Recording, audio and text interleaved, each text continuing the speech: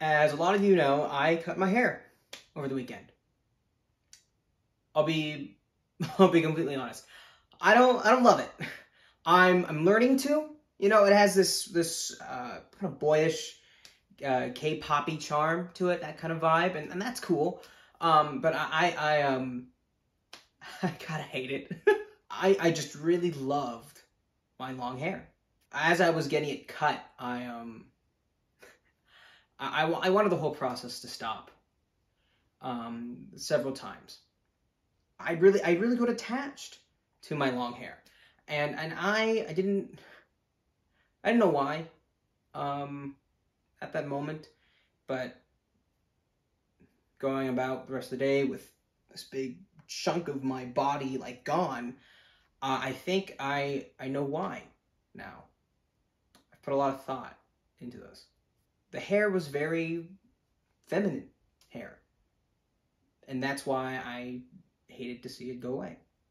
It was long and, luscious and, luxurious even, and I, I, had I had women in my life that had told me on several occasions that they wish they had hair like mine. They had talked about it in the sense that they, they wanted it, you know, and that that made me feel that made me feel really really happy felt really good about that. I like a lot of feminine things. I like makeup. Uh, I like heels. I like dresses. I'm very in touch with my emotions. Uh, I'm a very feminine person, is what I'm saying. Now, none of the things I mentioned before are exclusive to females, but, you know, we as a Western society in general kind of just push female and femininity and, and women, you know, um, as as concepts onto these things, onto you know long hair, dresses, all that jazz. I'm also a very manly person. I like weightlifting and, roughhousing and, and throwing things aggressively. now, none of those things are exclusive to men, but you know, again, you know what I'm saying. General Western society, all that jazz. It's my birthday today. 20 years ago today, I was born. I was born with a penis, born with testicles, born with high testosterone levels, was born with XY chromosomes. I was born, all intensive purposes, a man. Or I guess a, a boy. I was a boy, yeah. I'm a man now, Ma. I got pubic hair and a smell bad. A male. I was born male. There we go words. Growing up, uh, you know, I, I, I liked a mix of a lot of things, you know, and I knew that I liked a mix of a lot of things. I know, for example, I like Star Wars. Love Star Wars. It's a big part of my life. And growing up, my favorite Star Wars movie was Return of the Jedi. For, for mainly one reason, I really liked Princess Leia in the golden bikini. Because I thought she was really, really pretty. I wanted to look like Princess Leia. I, I really idealized that body as a kid.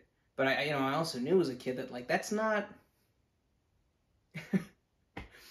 I don't get to wear that, you know. The the closest I've gotten to that as a kid was joint birthday parties I had with my brother. We had a Power Ranger guy come over. He was dressed up as a Power Ranger and he painted, you know, masks on all the kids and he gave us balloon swords. And for the the female colored female colored. For the female colored Power Rangers, he gave them skirts for the pink and yellow ones. And so, you know, I, I asked the guy to paint me up as the pink Power Ranger. You know, I had a pink painted mask on and and and uh, a pink balloon sword and a pink tutu.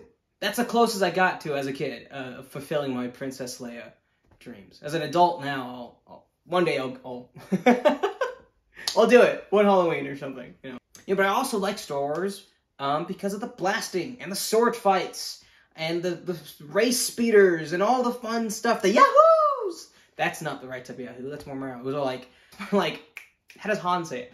Um, yahoo! No, I can't. I can't get it in my head. It, it's still just Mario. God dang it! How does he?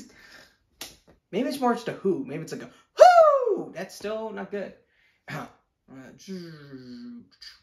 punch it, Chewie. I, I hate it. Stop it. Anyway, I wanted to I wanted to be like Princess Leia. I also wanted to be like Luke. I, I liked Luke a lot as a character. In in Empire Strikes Back, he looks good. You know, he's he's in a tank top for all the film. He's got pretty big biceps. He's doing backflips and he's doing he's climbing ropes and trees and he's jumping and he's doing all these very physical, masculine looking things. And I really like that as well. I had my first kiss in third grade. It was with a dude. No, I didn't have a crush on this kid at the time. I had a, I had a crush on a girl, but he was my first kiss because I was genuinely curious as to what the inside of his mouth felt like. I wanted to know what his tongue would feel like to my tongue. Just out of pure scientific inquiry, I guess. Uh, years later, in high school, I came out as bisexual.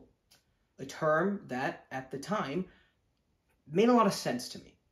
I liked guy things. I liked girl things. I liked guy bodies. I liked girl bodies. You know? Um, and society told me if I was this fascinated in, in what a man's body looks like and how it functions and what it feels like and, and all those things, that means you're gay. You know? Um,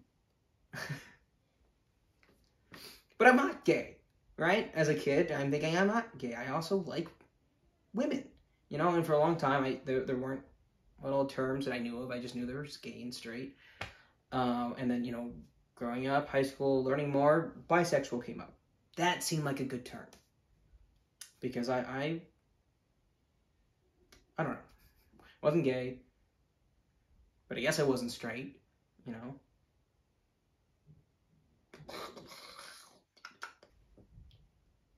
I think I made a mistake.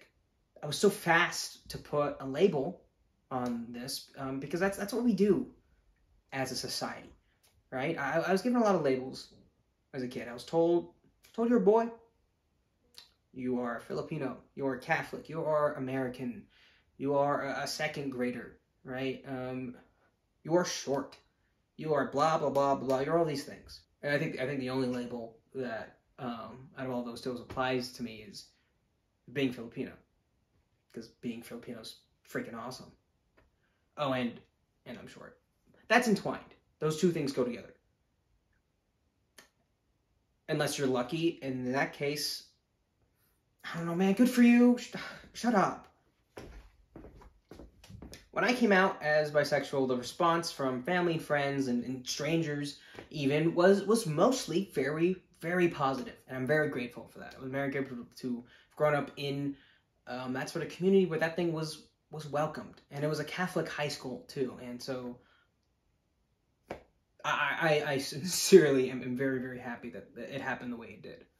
And because I was so happy with that, you know, I was content with this term bisexual for a time.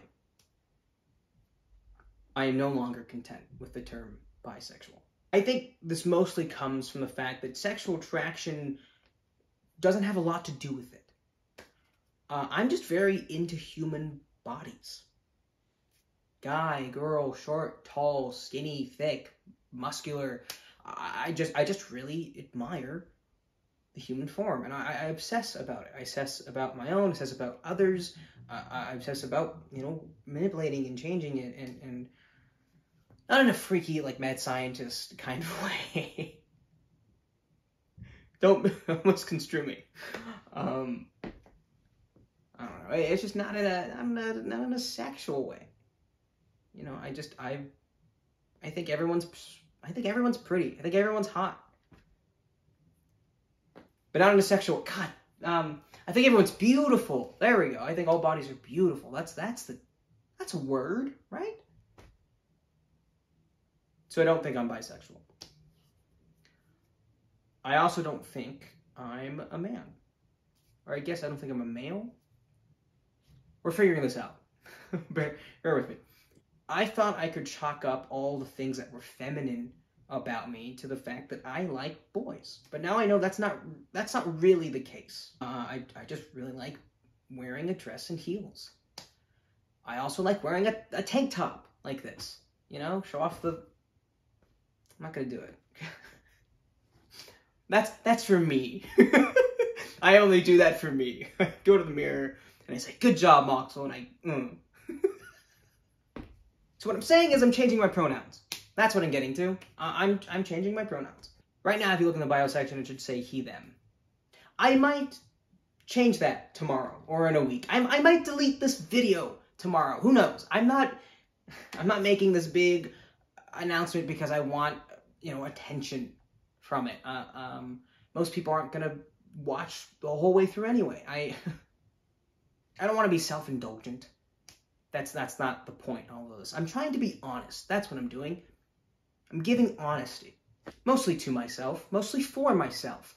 I, I need to say it out loud in in sort of a public space where other people can hear it, so that I, I'm more inclined, you know, to to really to be sure about this. Um, and, I, am and I'm okay with not being sure. Let me be clear. I'm going to backtrack. I use a similar strategy for other things in my life. You know, I tell my friends my workout routine so that I'm more inclined to keep with it uh, and to, you know, to be more proud of my body, you know, uh, to talk about it more. I tell my family what and how I'm going to be eating for the next couple months so they know how they can help me with my my protein intake or oh there it is i did it I did it. You happy? I did it. Hmm. I'm saying this in front of a camera for anyone to see so that I, can work on being myself. That's all this is. You know, knowing who I am. Because I really need to know who I am. I'm in an acting class right now, and one of the biggest takeaways has been that you need to know who you are so you know how you can sell yourself, how you can market yourself, so you can get cast in the roles that you are made for. I'm taking that and I'm trying to apply it to my life on a bigger scale right now. I'm trying to learn who I am so I can tell other people who I am. So so the people in my life can can know me, like really know me and, and welcome me. Or not welcome me, I guess. I, I guess that's important too. ah. What am I saying? I'm saying I'm saying it's my birthday today. That's what I'm saying. I'm another year still growing. I'm another year still changing. Still living. I'm still living. That's what it is. I'm living right now. I'm trying trying to live. And I, I don't think I can do that completely without an honest attempt to to know who I am in this current moment. Hi, I'm Max Lorenzo. I'm queer. That's the term I'm going for. I'm sticking with that. I'm sticking with that one. Again, who knows for how long? If life was a wardrobe, you are free to change your coat. Is that an Uncle Iroh quote? Don't think so. I don't think it's a quote at all. I'm changing my coat. You know, I, I'm I'm I'm picking a new way to to express myself and, in the way that I'm feeling and you know who I am inside and you know I I probably won't look very different because I don't like putting a lot of effort in my physical appearance on a daily basis. The things you see on Instagram are when I'm trying the most. And sometimes that's just a shirt and jeans.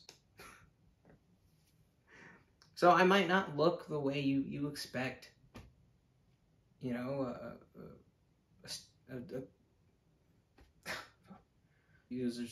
kind of an expectation, I guess, for someone to come out and then they're, I don't know, always in makeup, or they dyed their hair, or they, you know, wear they're wearing a dress now, and and you know, I'm gonna do all those things probably, you know, at some time in my life. I'm also gonna take it off at one point. Thank you for watching.